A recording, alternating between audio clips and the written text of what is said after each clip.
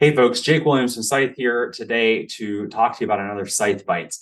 In an earlier Scythe Bytes, we talked about software supply chain security, and we noted um, that uh, NSA had released a very comprehensive document um, discussing software supply chain security. Now, this matters to me for a lot of reasons. One, I'm a software supply chain geek when it comes down to it, or security geek around that. Um, I think the whole idea of um, you know, threat actors uh, targeting the software supply chain is just fascinating, uh, and I'm confident uh, there are other SolarWinds level events out there that we just don't yet know about, right?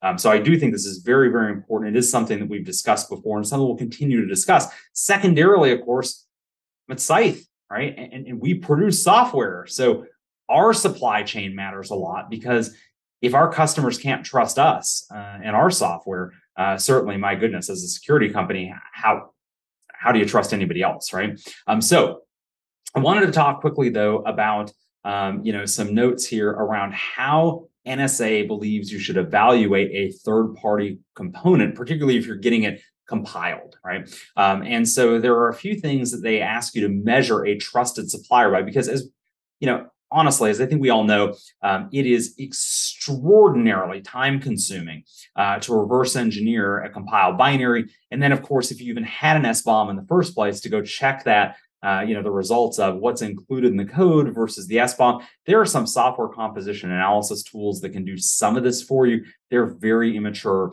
um, and, and, ultimately, uh, you know, again, we're not necessarily getting uh, fully reliable results. So, how do you how do you evaluate a third party supplier or someone that's trusted right? Um, you know obviously you want to know something about their development practices. When i get a compiled dll for instance right that a library that i'm going to use um, in a project i'm looking to see was it compiled with exploit mitigations right? Amazingly it's 2022 and i'm still getting libraries from third parties that don't have compile time exploit mitigation set. This tells me of course something about their security overall right?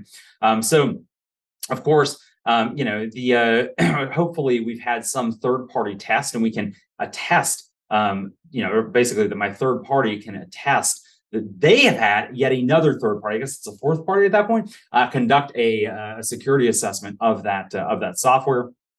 But another big one here is, you know, have they provided me an SBOM? Because if they haven't, right, if I don't have an SBOM up front, I can look at this binary all day long, right? But but I'm only looking at it to determine what's in it now, not does that match what they claim is in the binary. Right. Uh, I also am going to look at their history of addressing security vulnerabilities. NSA, of course, recommends this as well. Uh, do they have a history of responding timely in a very timely manner to these vulnerabilities? Um, and then, of course, um, you know, is there a way to report vulnerabilities? This is another big one, right? And I know a lot of folks are like, well, but that doesn't necessarily mean there are vulns today. If we step back for a minute and we assume that all software has some vulnerabilities, right? Then you would probably think, okay, right? Then some number of those vulnerabilities are known to someone.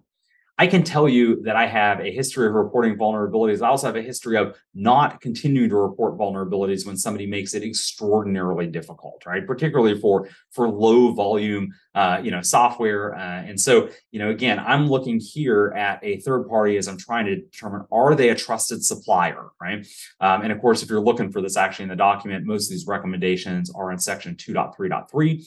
Um, but uh, if I'm looking for a trusted supplier, do they have a, an efficient way, an easy way to go report vulnerabilities? Because if they don't, you've got to assume there are some number of Jakes out there who, you know, basically said, okay, right? Like you're not going to make it easy for me. You're going to fight me on reporting a vulnerability. There's not an easy way to get that into the process. Then whatever, not my circus, not my monkeys, right? Um, so again, these are some uh, some metrics or heuristics that you can use uh, to help identify who is a trusted supplier, and for that matter, maybe who is a less trusted supplier.